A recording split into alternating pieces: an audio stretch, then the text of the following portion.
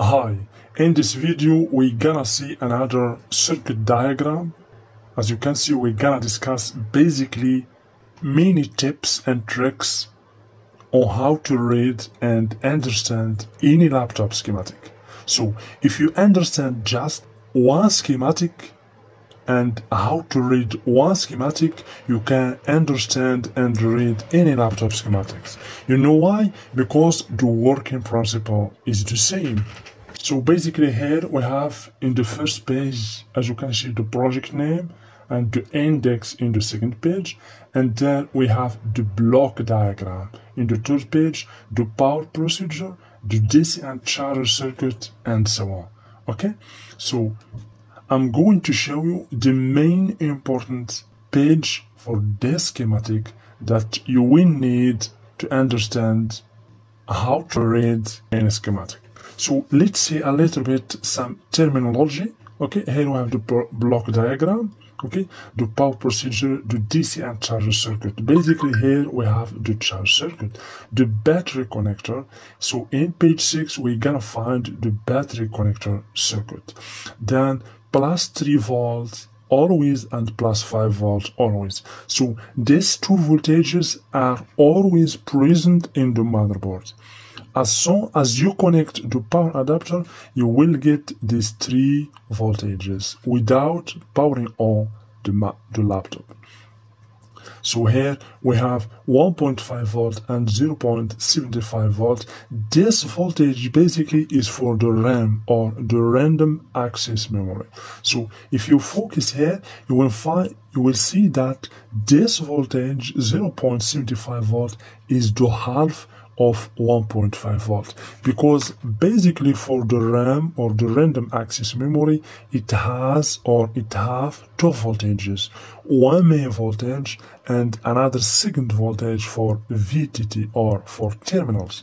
So this is basically for the main voltage 1.5 volt and this is the VTT or voltage for terminals. As you can see here we have plus VTT also in this page. So for the DDR1, for example, the main voltage is 2.5 volt and the VTT voltage is the half of 2.5 volt, means 1.25 volt. For DDR2, the main voltage is 1.8 volt and the VTT is 1.9 volt or 0.9 volt. And for DDR3 as we have here this is basically the voltages for DDR3 as you can see here we have DDR3 for this kind of motherboard. So the main voltage is 1.5 volt and the VTT or the second voltage is 0.75 volt. Then in page 10 we have plus VCC core. So so this this schematic basically I will put this schematic in the Patreon page. You can always find the Patreon page link in the description box of this video or in the home page of my channel. Okay, so if you if you want this schematic and more more other schematics for any laptop, you will find it in my Patreon page. And of course, in the Patreon page, you can ask me anything and I will, I will respond to you. And if you look for a schematic, just go to Patreon page, post me the details of the schematic you want and I will upload the schematic for you. Of course, if it is available, because there is some, there, there are some schematics that are not available in the internet. And of course, I have some free schematic and I buy others. But for me, even if I buy these schematics, I can offer it for free for you. Just go to Patreon page and I will give you a schematic for free. Either free schematics or paid schematics. So here in page 10 we have plus VCC core so the CPU basically needs a plus VCC core. This voltage can be can vary between 0.7 or 8 volts DC and 1.2 or 1 volt. Okay. Then we have VGA FX core. This voltage basically is for the North Bridge and the graphic card. Okay. So we have 1.8 volt. Okay, we have another voltage. This basically is for all chipsets in the motherboard, including the graphic card, the North Bridge, the CPU, the ICH, etc. All chipsets in the motherboard. And then we have plus 5 volt, plus 3 volt, and plus 1.5 volt S. Okay? I will explain to you all this. So this tutorial basically can be divided into many videos, maybe three or four videos, because the schematic contain, as you can see here, 47 pages, as you can see, 47 pages. We cannot cover all these pages in one video, okay? So here we have the clock generator, okay? This is basically the, the, IC that generates the clock or the timing for the whole motherboard. You know why? Because without the timing and without clock the motherboard cannot work properly. Always for every motherboard it needs a synchronization it needs a timing between its components. That's why we have here the clock generator. You will find always this kind or usually this kind of clock generator next to the cpu because it is always connected directly to the cpu i will show you all this in the block diagram. And then here as you can see we have the CPU okay? So the CPU or the central processing unit. As you can see the CPU for this laptop is in page 15, 16 until page 20. You know why? Because the CPU basically is a big chipset. So we will cover for the CPU the power section, the control section, the ground section, and all that the thermal section, etc. So that's why we have the CPU in about, as you can see here, six pages. Okay, then we have here the thermal and fan. Okay, the thermal and fan. Always for the fan, okay, the fan should be controlled. That's why there is a sensor in the back of the CPU. When the heat of the CPU increases, the fan will speed the fan speed will increase in the same time. And when the heat of the CPU decreases, the fan speed also will decrease. Okay? Will be decreased. Here, as you can see in page 22 and page 23, we will discuss the RAM or the random access memory. Memory. Basically here we have the DDR3. The kind of RAM here is DDR3. As, as you know, there is many types of RAM. There is DDR1, DDR2, DDR3, DDR4, and DDR5. DDR5 and others, okay? So, as I told you before, DDR3 has two voltages, 1.5 volt and 0. 75 volts. So, and here we have the PCH, okay, the PCH or the ICH. So, the PCH basically is a chipset that controls all ports and connector in the motherboard. So, this is a very important uh, chipset in every motherboard.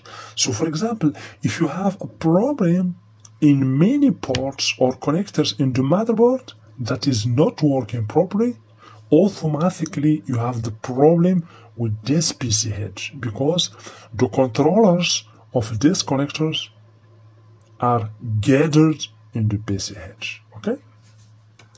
Then here, as you can see, so for the PCH, as you can see, we have PCH in, in page 24, 25 until page 32 as you can see. And here we have the KBC or the keyboard controller. This is basically an integrated circuit that controls the keyboard the BIOS and the power in the motherboard. This is a very important IC that we're gonna discuss. So we have the keyboard and touchpad okay? The CRT connector LCM connector and HDMI connector or high definition media interface. Okay, so these connectors basically are connected to the graphic card. In our case here, these connectors will be connected to the north bridge because for this motherboard, the graphic card is integrated with the north bridge. I'm going to show you all this in the next slides. Then we have the SATA HDD or the serial ATA HDD. Basically, HDD means the hard disk drive. So there is HDD and SSD. Basically, SSD is an improved drive. Okay, so HDD stands for hard disk drive to store the data and the information, and SSD means solid state drive. Okay, and over here we have ODD. ODD means optical disk drive. Okay, so here we have the LAN for the network RJ45. This is basically a connector that contains eight pins. Okay, so we use this kind of connector to connect, for example, the PC or the laptop to the router or to share the connection okay? So then in page 41 we have the card reader okay? And then we have 42 we have the audio codec. So the audio codec basically for the mic and the headphone there is an IC an important IC that controls the audio part. so I will show you this IC in the next slides. So if you have problem if you have, for example, a problem with the mic or the headphone or any ports, no data in it, means probably you have a problem with this IC. So then we have the HP jack and the mic jack, as I told you before. So these jacks are controlled by this IC, the audio codec IC. Then we have the USB 1 and USB 2. We have just here scroll. We have the wireless LAN, the Bluetooth here, controls in page 45 we're gonna see all this. Then we have the USB 3 the power button the peak button the HDD port in page 46 and page 47 this is just blank okay? So we're gonna discuss all this in the next slides. So let's pass to the second page so here basically, as you can see, this is the block diagram for this laptop. Where we have, as you can see, this is the CPU, okay? This is the CPU basically. So here, the north bridge basically is integrated with the CPU. You, you know why? Because we have here the RAM, as you can see, connected to these chipsets. Means the north bridge is integrated here with the CPU because the RAM is controlled with by the north bridge, not the processor. And since we have these two slots of RAM are connected to these chipsets, means the north bridge is integrated with the CPU. Okay, and as you can see here, we have the PCH we have the PCH. Basically, the PCH, we have two chipsets inside it. We have the NOT, the graphic card and the ICH. Why? The graphic card, because also this connectors, as you can see, the graphic connectors or ports are connected to this chipsets. HDMI connector, CRT connector, LCM connectors, means what? Means we have the graphic card inside these chipsets. And also the ICH is inside these chipsets. Why? Because we have all connectors, other connectors, art ports are connected to these chipsets, including USB connectors. SATA ODD connector, SATA HDD connector, RG5 connector, LAN connector, card reader, the ESP-ROM or the BIOS, the keyboard controller, and so on. Okay, so now here in this chipset we have the CPU and the north bridge. And here in this chipset we have the graphic card and the IC So guys, this is how you can analyze and study any schematic. Just be smart. It's easy. So here, as you can see, we have USB connectors. So USB connector here, and here we have P44. Means you will find this connector in page 44. Okay. For example, here we have SPI ROM. This is the BIOS, the basic input output system. You will find it where? In page 24. Okay. And here we have the keyboard controller in page 33, for example. The touchpad, you will find it where? In page 34. So let's go, for example, to page 34. We should find the touchpad and the keyboard connectors. So I can just type here, page 34. So let's type 34 and press enter. As you can see, we have the touchpad LED, we have the touchpad module connector here, and we have the keyboard control controller, 32 pin over here. Do you get me, guys? So let's go to the next page. The same for all other systems. So the block diagram, you will find just a rectangular like this in the block di diagram. So this is basically a general overview about what we're gonna see in the schematic and and of course what this laptop contains. So those lines as you can see here means buses. For example here this is the RAM bus, the DDR3 bus. Here we have for example DMI means the direct media interface. So basically this bus connects between the north bridge and the ICH. Okay, so it connects between the north bridge and the ICH. And here we have the name of signals. We have the HDMI, high definition media interface, VGA, the video graphic, as you can see, LVDS, the PCI, as you can see, etc. So that's it guys for this video. We're gonna pass to the tools page. So in the next video, I'm going to discuss with you and to explain to you one of the most important page in every schematic, do power sequence. If you understand the power sequence of any laptop or any motherboard, you can easily troubleshoot, isolate and fix any failure in any motherboard. You know why? Because the power sequence gives you the secrets and the tips and the this point and where you should begin and where you should focus. For example, here we have the adapter. This is the charge IC circuit. Okay, we have this MOSFET, for example. So here, for example, in this MOSFET, you should check whether you have here 19 volt or not. Okay, in the source of this MOSFET, we have the sense resistor. So in the power sequence, all tanks are very clear, as you can see. So here, we will get here 19 volt or plus V, but the main voltage, 19 volt, will be distributed to all circuits in the motherboard. So you can just take a look to the power sequence and you will figure out how many circuits in this motherboard. We have the first one.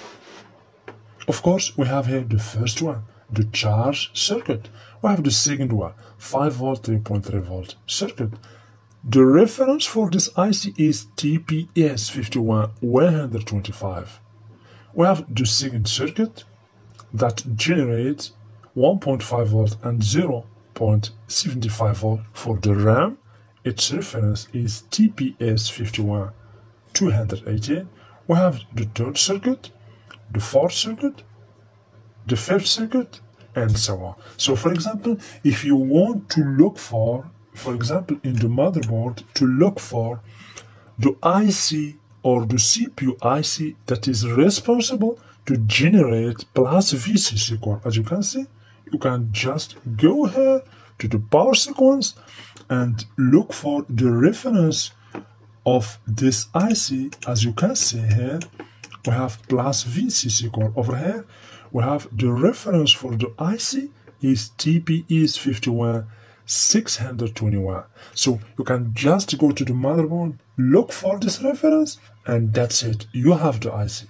So the power sequence is a very important schematic and system that every laptop or every technician should understand by heart. So, and in the next video, I'm going to explain to you from A to Z this power sequence. And if you understand just one power sequence and working principle of how power sequence work, you can understand any other power sequence of any motherboard or laptop, whatever its type. So, thank you guys. Please don't forget to subscribe and to give a thumbs up to the video because this motivates me to upload more and more content. Thank you very much. And if you need more helps and to be in touch with me directly, go to my Patreon page and I will be here. Thank you very much.